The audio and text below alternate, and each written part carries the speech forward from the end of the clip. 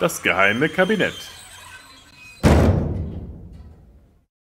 Hallo und herzlich willkommen zu einer neuen Ausgabe des geheimen Kabinetts. Heute miauende Nonnen und andere Besessene. Es klingt wie der Beginn eines schlechten Horrorfilms. In einem mutmaßlich sächsischen Kloster überfiel im 15. Jahrhundert eine der dortigen Nonnen plötzlich das unkontrollierbare Verlangen, ihre Mitschwestern zu beißen.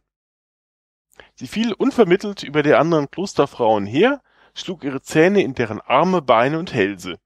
Die gebissenen Nonnen fingen nun ihrerseits an, um sich zu beißen und ihre Mitschwestern zu attackieren, bis das ganze Kloster infiziert war.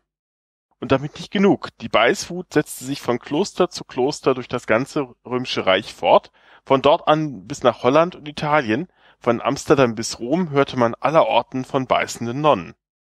Doch dann verschwand die merkwürdige Besessenheit von einem Tag auf den anderen. In einem französischen Kloster nahe Paris hingegen fing im 17. Jahrhundert eine Nonne zu einer bestimmten Uhrzeit an, wie eine Katze zu miauen. Sobald die Glocke schlug, ließ sie sich auf alle Viere nieder und begann katzenhafte Laute von sich zu geben. Auch hier folgten bald nach und nach die anderen Schwestern und miauten, angeführt von der Äbtissin jeden Tag ganze Stunden lang. Die Anwohner des Klosters waren verständlicherweise leicht beunruhigt und riefen den Bischof zu Hilfe. Doch zunächst hatten die von ihm hinzugezogenen Exorzisten und Ärzte keinen Erfolg. Die Nonnen waren überzeugt, sich regelmäßig in Katzen zu verwandeln. Dem Bischof wurde es schließlich zu viel, er schickte eine Kompanie Soldaten, verbunden mit der Drohung, jede der Nonnen einzeln auszupeitschen, die wieder miauen würde. Damit endete die Besessenheit der Klosterfrauen so abrupt, wie sie begonnen hatte. Obwohl beide Geschichten insbesondere im 19. Jahrhundert oftmals in diversen medizinischen Fachblättern genüsslich wiedergegeben wurden, ist unklar, ob es diese merkwürdigen Besessenheiten wirklich je gegeben hat. Von den miauenden Nonnen liest man erstmals 1733 im Werk des französischen Arztes Nicole mit dem Titel Naturalisme des Convulsions der das Ereignis immerhin selbst beobachtet haben will. Schriftliche Quellen aus den anderen betroffenen Orten finden sich allerdings nicht. Dabei war massenhafte Besessenheit in frühneuzeitlichen Klöstern gar nicht mal so selten. Schließlich befanden sich die Frauen dort selten auf eigenen Wunsch, sondern wurden schon früh als Kinder oder Heranwachsende von ihren Eltern in die klösterliche Obhut gegeben Gründe für eine Massenhysterie konnte es da viele geben, von Frustrationen in Ermangelung eines selbstbestimmten Lebens oder eigenbestimmter Sexualität über Ergotismus, also Vergiftung durch Mutterkorn oder andere toxische Stoffe, abergläubische Furcht vor dem Übernatürlichen bis hin zu reiner Langeweile. Ein bisschen was von alledem, Mutterkorn mal ausgenommen, scheint zumindest im frühen 17. Jahrhundert im französischen Loudun zusammengekommen zu sein auch hier scheint alles von einer einzelnen Nonne ausgegangen zu sein, der Ursulinerin Jeanne d'Angers. Geboren wurde sie 1602 als Tochter des Barons von Cossé an der westfranzösischen Atlantikküste. Als Kind erlitt sie einen schweren Unfall, der eine körperliche Behinderung nach sich zog. Sie wurde daher nicht verheiratet, sondern die Obhut ihrer Tante in ein Benediktinerkloster gegeben da ihr die Benediktinerregelung zu streng erschien, verließ sie nach dem Tod der Tante des Klosters, um schließlich 1622 in das Ursulinerinnenkloster in Poitiers einzutreten. Dort nahm sie, die ja eigentlich Jean de Belsier hieß, den Ordensnamen Jean de, Jean des Angers, also Johanna von den Engeln an. Von dort wechselte sie fünf Jahre später in das frisch begründete Ursulinerinnenkloster in Loudun Ihrer gesellschaftlichen Stellung verdankte sie den raschen Aufstieg zur Mutter Oberin. Die nächsten Jahre vergingen relativ ereignislos, bis im Jahre 1632 der Beichtvater des Klosters, Vater Mousson, verstarb. Jean versuchte nun den örtlichen Priester, Vater Urbain Grandier, als neuen Beichtvater zu gewinnen, doch der lehnte ab. Was er nicht ahnte, Jean war sexuell von ihm besessen in ihrer späteren Autobiografie schrieb sie, wenn ich ihn nicht sehen konnte, brannte ich vor Liebe für ihn, und wenn er anwesend war, fehlte mir der Glauben, um die unreinen Gedanken und Gelüste in mir zu bekämpfen. Auch Grandier war kein Kind von Traurigkeit und schon zuvor in mehrere Skandale verstrickt. So hatte er angeblich eine Affäre mit der Tochter eines königlichen Beamten, in Loudun, deren Kind angeblich sogar von ihm gewesen sei. Gleichzeitig unterhielt er eine Beziehung zur Madeleine de Brou, der Tochter eines königlichen Rates. Da passt es auch bestens, dass er der Verfasser einer Abhandlung gegen das priesterliche Zölibat war. Immerhin konsequent. Er war aber auch gut vernetzt in politischen Kreisen und als er 1630 wegen Unmoral verurteilt wurde, gelang es ihm dadurch, seine Stellung in der Kirche innerhalb eines Jahres wiederherzustellen. Er hatte aber nicht mit den Nonnen von Loudun gerechnet.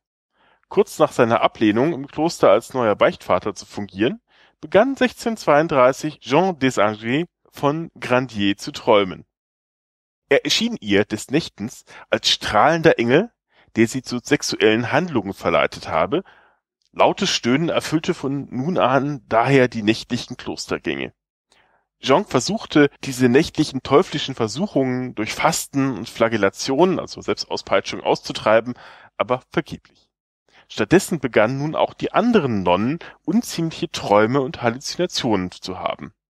Sie verfielen allesamt zudem in Trancen, wilden Zuckungen, hielten den Atem an und sprachen in fremden Zungen. Jean rief nun den neuen Beichtvater des Klosters, Vater Mignon, der die Stelle anstatt Grandiers angenommen hatte, zu Hilfe, der Exorzismen an den Nonnen ausführte, an allen voran natürlich an Jean. Diese spielten sich in etwa exakt so ab, wie man das aus schlechten Horrorfilmen kennt. Die Nonnen begannen während des Rituals zu schreien, verdrehten die Gliesmaßen, begannen zu bellen, nicht zu miauen, und äußerten schreckliche Blasphemien. Immerhin fand man während der Exorzismen heraus, dass Jeanne und ihre Schwestern von den beiden Dämonen Asmodeus und Zebulon besessen seien. Diese seien in sie eingefahren, als Vater Grandier der einen Pakt mit dem Teufel geschlossen habe, einen Strauß Rosen über die Klostermauern warf. Grandier hörte natürlich von diesen Anschuldigungen und machte wieder einmal all seinen Einfluss geltend und erreichte, dass der Erzbischof von Bordeaux versierte Ärzte zur Klärung des Falls entsandte. Diese fanden keinerlei Zeichen einer echten dämonischen Besessenheit bei den Nonnen. Man beendete also die Exorzismen und steckte die Nonnen zurück in ihre Zellen. Grandier hatte sich aber mächtige Feinde gemacht. Ein Verwandter von Jean, Jean de Laubardemont, brach beim berüchtigten Kardinal Richelieu vor, dem er von den Vorgängen in Loudun berichtete. Grandier war Jean bei der Schleifung einer Festung in Loudun in die Quere gekommen, die Richelieus Stellung zusätzlich gefestigt hätte. Der Kardinal hatte aber auch ein persönliches Interesse an dem Fall. Zum einen war unter den Nonnen eine Verwandte von ihm, zum anderen bot ihm der Vorgang eine Handhabe gegen Grandier, mit dem er aufgrund eines satirischen Textes gegen den Kardinal aus seiner Feder ohnehin noch ein Hühnchen zu rupfen hatte. Richelieu ließ daher Grandier als mutmaßlichen Hexenmeister verhaften und setzte Laubardemont als Leiter der Untersuchungskommission ein. Die Exorzismen wurden also wieder aufgenommen, und zwar im ganz großen Stil. Bis zu 7000 Zuschauer auf einmal wohnten dem Spektakel bei und ein Spektakel war es in der Tat. Nicht nur die Priester boten jetzt dramatische Rituale, Drohungen und Befehle gegen die Dämonen auf, auch die Berichte der Nonnen wurden immer ausgefallener mit ihren Beschuldigungen gegen Grandier, begleitet von offenkundig sexuellen und unzüchtigen Handlungen unter dem Einfluss der Exorzismen. Zudem offenbarte sich in der Mutter Oberin noch ein weiterer Dämon, passenderweise Isakaron, der Dämon der Verführung. Zudem entwickelte sie eine Scheinschwangerschaft.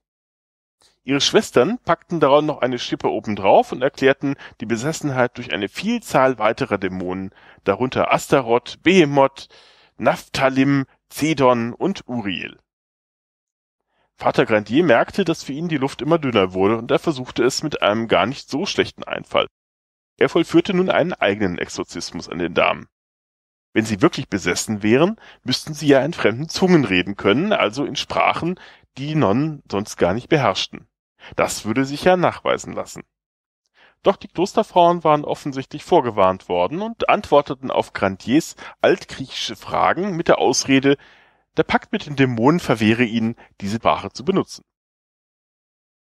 Zum Verhängnis wurde Grandier schließlich die Originalurkunde dieses Paktes, den der Dämon Asmodeus höchstpersönlich aus Luzifers Aktenschrank entwendet hatte und die nun unvermittelt auftauchte und damit den Anklägern als hauptbelastendes Indiz diente.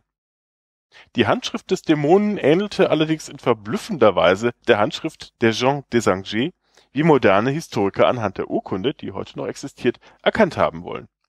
Grandier wurde jedoch damit als ausreichend belastet angesehen. Man sperrte ihn im Dezember 1633 in das Gefängnis von Schloss Angers, wo er mit manipulierten Prüfnadeln der Hexerei überführt und der Folter ausgesetzt wurde. Trotz der schmerzhaften Prozedur, bei der man ihm in sogenannten spanischen Stiefeln die Beine zerquetschte, gestand er jedoch nicht, mit dem Teufel im Bunde zu stehen und gab auch keinen Namen angeblicher Komplizen preis. Dennoch wurde er nach einem Schauprozess in Loudun im August 1634 auf den Scheiterhaufen gebracht. Auch wenn ihm zuvor versprochen worden war, vor der Exekution noch einmal frei sprechen zu dürfen, überschütteten ihn die anwesenden Mönche mit solchen Mengen an Weihwasser, dass seine letzten Worte nicht mehr gehört werden konnten. Mit Grandiers Tod endeten die Anfälle von Besessenheit im Kloster jedoch nicht, so dass die Exorzismen im Kloster fortgeführt wurden. Richelieu hatte jedoch seinen unliebsamen Gegner beseitigt und hatte nun an den Exorzismen keinerlei Interesse mehr.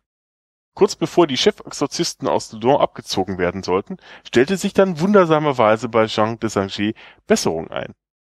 Doch es sollte noch bis 1637 dauern, bis auch der letzte Dämon aus ihr verschwunden war. Stattdessen fühlte nun einer der Exorzisten, der fromme Jesuit Jean-Joseph Surin, eine zunehmende Besessenheit in sich selbst. Er glaubte, dass die aus Jean vertriebenen Dämonen nun in ihn gewandert seien und litt an zeitweisen Verlust der Bewegungsfähigkeit, Anfällen und Verlust der Sprache. Jeanne hingegen zeigte Anzeichen, die darauf hinwiesen, dass die Dämonen aus ihr gewichen waren. Auf ihrer Stirn zeigte sich ein blutiges Kreuz, auf ihren Armen erschienen die Namen Maria und Josef. Merkwürdigerweise wieder in ihrer eigenen Handschrift. Man sah sie jedoch von nun an als fromme Mystikerin an. Auf ihren Zügen durch die französischen Städte wurde sie von begeisterten Menschenmengen bejubelt Sie wurde vom Kardinal Richelieu empfangen, den sie vergeblich mit einem vom heiligen Joseph empfangenen Öl von Hämorrhoiden halten wollte, und von König Ludwig XIII. Schließlich begann sie ihre Autobiografie zu schreiben, die nicht zufällig an der heiligen Vita von Teresa von Avila orientiert war. Sie war von ihrer eigenen Heiligkeit zutiefst überzeugt. Dennoch wurde sie nach ihrem Tod 1665 niemals offiziell von der Kirche heilig gesprochen Seltsam eigentlich, dabei wurde doch noch bis 1750 ihr Kopf als Reliquie verehrt, bis man das hochverschuldete Ursulinenkloster auflöste. Auf der Grundlage von Jeannes Autobiografie entstanden zumindest Theaterstücke und Romane, darunter einer von Aldous Huxley. Und zwei Filme, Mère Jeanne de Saint-Jean 1961 sowie The Devils von 1971 basieren lose auf den Geschehnissen die Fälle der miauenden und beißenden Nonnen hingegen wurden nie verfilmt. Schade irgendwie. Und damit entlasse ich euch mal wieder in den Tag oder in die Nacht. Hoffe, ihr hattet Spaß an dieser Episode und bleibt mir auch bis zum nächsten Mal gewogen.